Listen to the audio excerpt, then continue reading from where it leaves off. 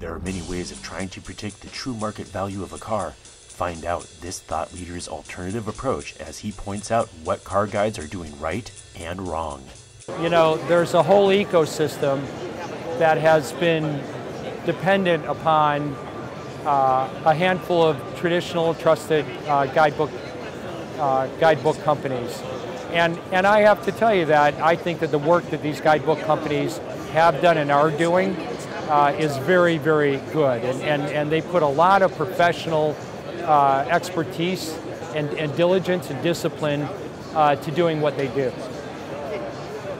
My perspective, however, is that um, with visibility and granularity that's available to us in the retail marketplace, an alternative approach worthy of consideration is to say that um, we don't need to massage data.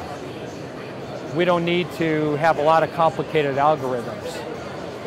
If you just can see the market and listen to the market and trust the market, it will give you accurate information.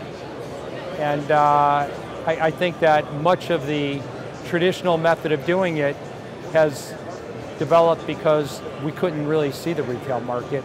We had to infer it from the wholesale market, and that process of inference requires a good bit of um, modeling statistically and, and inferential uh, sort of stuff.